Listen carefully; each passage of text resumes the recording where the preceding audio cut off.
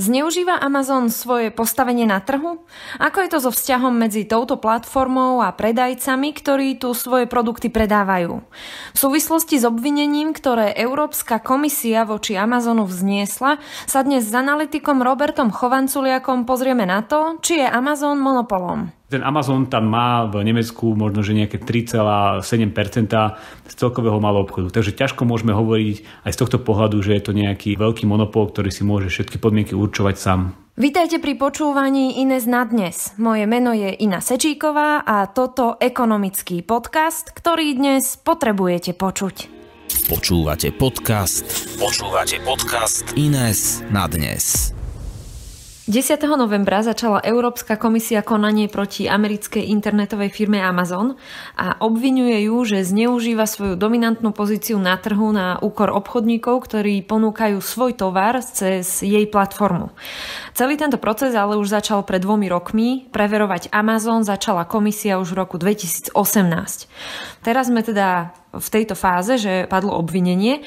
No a na prvý pohľad je to celkom jasná správa. Máme tu teda veľkú silnú firmu, ktorá sa zdá byť monopolom a tak chce Únia zakročiť, aby chránila menších predajcov. Čo ma na tom ale hneď e, v druhom kroku prekvapilo je, že má zneužívať svoju pozíciu na úkor obchodníkov, ktorí práve túto platformu využívajú na svoj biznis. A teda ako takto môže niekto zneužívať svoje postavenie, keď je to vlastne on, kto dáva predajcom priestor realizovať ten svoj obchod? Nie je to nejaký problém v tomto tvrdení? Európska komisia tvrdí, že Amazon využíva informácie, ktoré má z tej platformy, teda z toho, že umožňuje ostatným obchodníkom tam obchodovať a oni tam niečo predávajú, iní zase kupujú. A Európska komisia tvrdí, že Amazon zneužíva toto množstvo informácií na to, že si všimne, že aha, tuto sa niečo dobre predáva, asi je tam nejaká dobrá marža, asi to vieme aj my vyrobiť, tak prečo to nezačať vyrábať a nezačať predávať pod svojou vlastnou značkou. A toto tvrdí Európska komisia, že je ten problém. Ešte otázka, aký postih Amazonu hrozí, ak teda vyšetrovateľ tieto obvinenia potvrdí, že teda je to tak? Asi nikto nepôjde do basy. Amazonu hrozia avšak pomerne veľké finančné pokuty. Neviem presne, že aká veľká čiastka sa dáva za takéto prehrešky, ale keď sa pozrieme do rozpočtu Európskej únie, tak vidíme, že tam je už vyčlenená čiastka 16 alebo 17 miliard eur, ktoré Európska únia ráta, že dostane do rozpočtu práve z pokút pre veľké internetové spoločnosti. Takže to je taká zaujímavá situácia, že e, môj kolega Radovan Ďura na to povedal, že to je podobná situácia, ako keď u nás policajti už v rozpočte rátajú s tým, že vyberú nejaké množstvo peňazí na pokutách, tak podobne k tomu pristupuje Európska únia, ktorá už ráta s tým, že hovorím, nejakých 16-17 miliárd eh, v rozpočte zabezpečia cez pokuty práve za takéto antihospodárske alebo antikonkurenčné praktiky. Amazon je teda obvinený z porušovania týchto protimonopolných zákonov.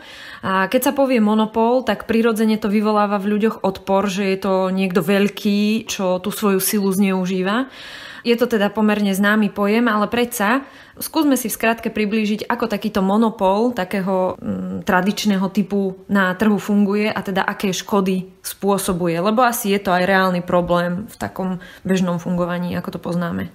Áno, všetci e, nejak tak tušia, že čo to znamená monopol, avšak existuje rozdiel medzi tým, ako chápu monopol povedzme nejakí laickí ľudia a ako chápu monopol ekonomovia a právnici. Ekonomovia, keď sa pozerajú na monopol, tak e, tvrdia, že monopol je ten, niekto je automaticky sám na trhu alebo je veľký, kúne takéto firmy môžu byť, ale monopol je to až vtedy, keď e, vytvára problémy vo forme za A, že predáva drahšie výrobky, za B, že znižuje produkciu úmyselne, že naslava dáva na trh menej statkov a tovarov, aby mohol si účtovať vyššie ceny a za C, že je neinovatívny a že vlastne keby tak trošku zaspáva na Vavrinoch, lebo nikto nemôže napadnúť ten jeho monopol, ten jeho trh. A z tohto pohľadu, keď sa na to pozrieme, tak eh, to je taká paradoxná situácia, lebo práve Amazon a rôzne tieto veľké internetové firmy sú charakteristické tým, že dodávajú služby a tovary, ktoré sú častokrát lacnejšie, kvalitnejšie a sú to častokrát firmy, ktoré sú veľmi inovatívne a nemôžeme o nich povedať, že spia na Vavrinoch. Takže z tohto ekonomického pohľadu je veľmi ťažké dokázať alebo tvrdiť, že tieto firmy a Amazon sú monopol a rovnako to nie je jednoduché ani z toho právnického pohľadu. Napríklad, čo je zaujímavé, Európska komisia tvrdí vo svojich dokumentoch, že dominantné postavenie má ten, alebo monopol má ten, kto má aspoň nejakých 40% trhu.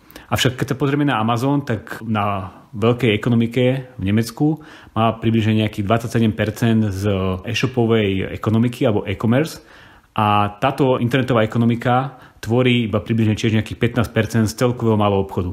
Takže ten Amazon tam má v Nemecku možno, že nejaké 3,7% z celkového malého obchodu. Takže ťažko môžeme hovoriť aj z tohto pohľadu, že je to nejaký veľký monopol, ktorý si môže všetky podmienky určovať sám. Uh-huh. Keď by sme teda sa snažili ísť tak krok dopredu a predstaviť si celý tento proces, ako bude ďalej postupovať a prebiehať, to by tak naznačovalo, že toto ani nemôže prejsť, takéto obvinenie. Aký máš z toho teraz pocit? Ja som skôr ten ekonom, takže ja sa na to pozerám, že či e, naozaj Amazon spôsobuje nejaké ekonomické škody a či zhoršuje situáciu pre zákazníkov. Lebo to by mal byť akýby taký prvotný test toho, či ideme niekoho pokutovať, či ideme niekoho obviňovať, či trpia zákazníci. Ale Európska komisia sa vybrala trošku opačnou cestou a ona sa začala pozerať na konkurentov Amazonu, že či náhodou oni neprichádzajú o nejaké zákazky, či neprichádzajú o nejaké tržby.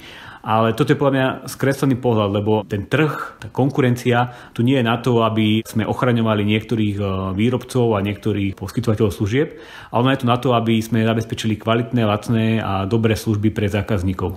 Tu, ak môžem ťa preruším, práve si mi tak nahral, že keď skúsim zahrať takú tú rolu diablovho advokáta, tak Európska komisia tiež argumentuje tým, čo už si naznačil, že sleduje pohľad tých výrobcov a predajcov na tej platforme a keď si predstavím, že by mne niekto okopíroval produkt, na ktorom stojí môj biznis, tak by ma to tiež naštvalo, že taká nejaká licencia alebo copyright na ten uh, konkrétny produkt, že je to takto alebo je to nejak ináč, že čo je vlastne teda za tým?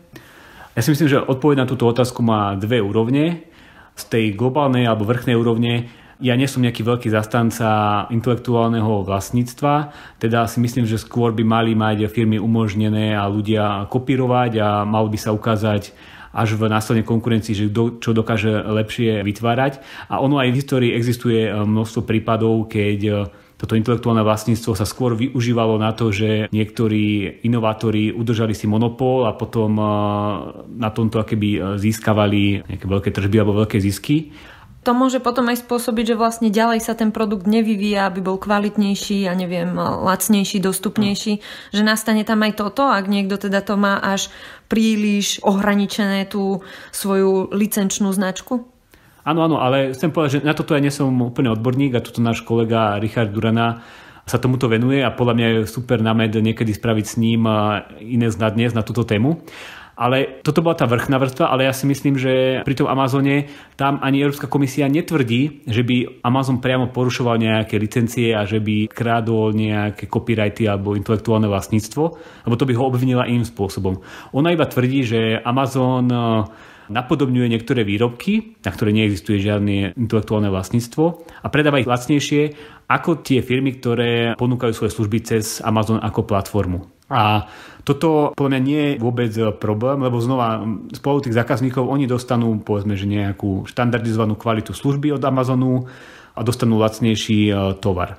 A keby som mal povedal príklad, aby posluchači vedeli, že čo asi ten Amazon tak predáva alebo o čo ide, tak najčastejšie, alebo čo stalo za vznikom tejto Amazon značky, boli rôzne napríklad káble, USB káble alebo HDMI káble. Amazon si všimol, že pri týchto výrobkoch není nejaký štandard kvality, sú rôzne nekvalitné káble a taktiež je tam pomerne veľká marža. Tak Amazon začal vyrábať svoje vlastné káble s vlastnou značkou a začali ich predávať a stali sa veľmi populárne. A ak si posluchači ešte spomínajú, tak pred nejakými desiatimi rokmi stal HDMI kábel viac ako 30 eur, dnes ho kúpite za 5-7 eur. A to je vďaka tomu, že tam vstúpil ten Amazon. A na to sa asi nikto nestiažuje, že? Na to sa stiažujú iba tí, čo predtým predávali tie káble za tých 30 eur. A mimochodom podobne niečo robí na Slovensku Alza. Alza má tiež svoje vlastné značky a má svoje vlastné káble. A to som vlastne ešte nepovedal, že celá táto praktika nie je niečo nové, čo vymyslel Amazon, ale ona tu už existuje viac ako storočie a robili to aj prvé retailové obchody, prvé obchodné domy, ktoré posielali ľuďom po celej krajine katalógy s výrobkami, potom tí ľudia si to objednávali cez tie katalógy, tie výrobky a tí obchodníci si všimli, že ľudia si niečo objednávajú častejšie, tak to začali sami vyrábať. A hovorím, táto technika tu už existuje 100 rokov a dodnes ju robia mnohé obchodné domy, však e, nemusím pripomínať poslucháčom, že keď idú do nejakej obchodnej siete, tak ona má nejaké svoje vlastné výrobky, svoje vlastné značky a tie sú častokrát lacnejšie a potom, že výhodnejšie ako nejaké ostatné značky. Takže toto je niečo, čo nerobí iba Amazon, ale robia to prakticky všetci, robia to strašne dlho a hovorím, z pohľadu zákazníkov je to iba dobré.